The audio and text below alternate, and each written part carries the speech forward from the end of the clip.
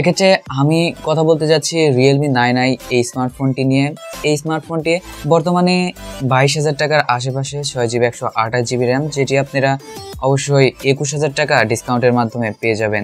Realme nine I এই ফোনটি আমি কয়েকদিন যাবৎ ইউজ করেছি। এই ফোনটি বর্তমান সময়ে দাঁড়িয়ে বাজেট অনুসারে আপনাদের বাই করা উচিত কিনা এবং কি কি স্পেসিফিকেশন থাকছে, কাদের জন্য এই ফোনটি সবকিছু নিয়ে আমি এই ভিডিওতে আপনাদেরকে খোলাখুলি একটি ধারণা দেওয়ার চেষ্টা করছি। আর এই ভিডিওতে আমার মনে হয় না আপনারা যদি সম্পূর্ণ দেখেন, কোনো কনফিউশন থাকবে যে কোন স্মার্টফোনটি আপনার নেওয়া উচিত। বর্তমান সময়ে দাঁড়িয়ে বিশ হাজার টাকা বাজেটের মধ্যে। প্রথমে এই ফোনটির ভালো কিছু কারণ আপনার সাথে শেয়ার করব, যে কারণের জন্য আমি এই ফোনটি বাই করেছি। প্রথমে বলি এই ফোনটির ডিজাইন এবং বিল কোয়ালিটি সত্যি, আপনি যদি ভালোভাবে লক্ষ্য করেন ফোনটির ডিজাইন এবং বিল কোয়ালিটি আসলে যথেষ্ট। প্রিমিয়াম করার চেষ্টা করেছে, এখানে আপনারা দেখতেই পাচ্ছেন ক্যামেরা মডিউলে দুইটি ক্যামেরা দিয়েছে এবং পিছনে প্লাস্টিক ব্যাগ ইউজ করা থাকলেও এক ধরনের শাইনি শাইনি ফিল দিচ্ছে। যখন এটা আপনি বাইরে বা আউটডোরে নিয়ে যাবেন, সূর্যের আলো পড়বে, আলাদা ধরনের একটি শাইনি শাইনি ফিল দিবে। এই জন্য আমার কাছে বিল কোয়ালিটি এবং ডিজাইন যথেষ্ট ভালো লেগেছে আর ফোনটির thickness eight point four millimetre আপনারা বুঝতেই পারছেন। আর ফোনটির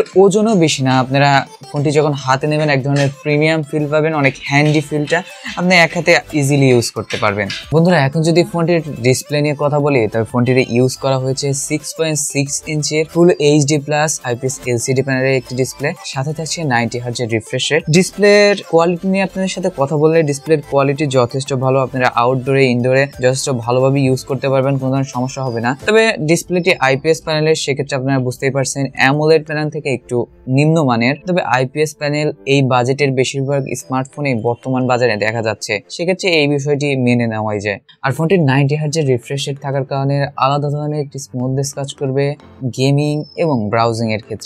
পরের ফোনটির ক্যামেরা নিয়ে কথা বলব। ফোনটিতে ব্যবহার করা হয়েছে ফিফটি মেগাপিক্সেলের প্রাইমারি সেন্সর সাথে থাকছে দুটি এক্সট্রা সেন্সর একটি টু মেগাপিক্সেলের ম্যাক্রো এবং টু মেগাপিক্সেলের ডেপ সেন্সর ফোনটির ক্যামেরা কোয়ালিটি আপনারা স্ক্রিনে দেখতেই পাচ্ছেন, যথেষ্ট ভালো ক্যামেরা ক্যাপচার করতে পারে ডিটেল শার্পনেস ঠিকঠাক রয়েছে। তো ফোনটির ব্যাক ক্যামেরা একটি মাইনাস পয়েন্ট হলো, ফোনটিতে কোনো আলট্রা ওয়াইড সেন্সর থাকছে না। বর্তমান সময়ে বিশ হাজার টাকার উপর একটি স্মার্টফোন বাই করবেন আলট্রা ওয়াইড সেন্সর থাকবে না। আসলে বিষয়টা মেনে নেওয়া যায় না। তারপরেও ফোনটি যথেষ্ট ভালো পিকচার দিয়ে থাকে আপনাদেরকে। ফোনটির ফ্রন্টে থাকছে পাঁচ হোলের একটি সেলফি কাট আউট যা দেখতে যথেষ্ট ভালো লাগে। আর এখানে সেলফিটি থাকছে সিক্সটিন মেগাপিক্সেলের সেলফি শুটার ফোনটির সেলফির কোয়ালিটিও আপনারা দেখতে পাচ্ছেন, যথেষ্ট ভালো সেলফি ক্যাপচার করে থাকে। সেলফির কোয়ালিটিও যথেষ্ট ভালো, যথেষ্ট ডিটেল শার্পনেস আর সিক্সটি মেগাপিক্সেল সেলফি শুটার এই বাজেটের মধ্যে প্রায় সকল ফোনেই দেখা যায়। এখন ফোনটির সবচেয়ে মেইন বিষয় পারফরমেন্স নিয়ে আপনার সাথে কথা বলব। ফোনটিতে পারফরমেন্সের দিক দিয়ে চিপসেট হিসেবে ইউজ করা হয়েছে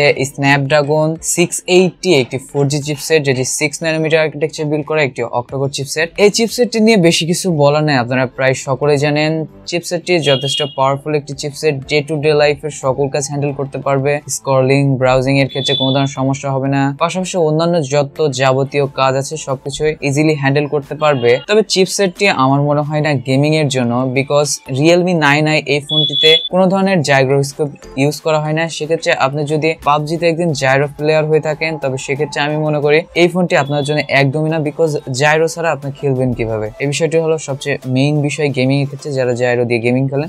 আর ওভারঅল ফোনটির ডে টু ডে লাইফের যদি শখের বসে আপনি গেমিং করতে চান, সেক্ষেত্রে গেমিং পারফরমেন্স যথেষ্ট ভালো পাবেন।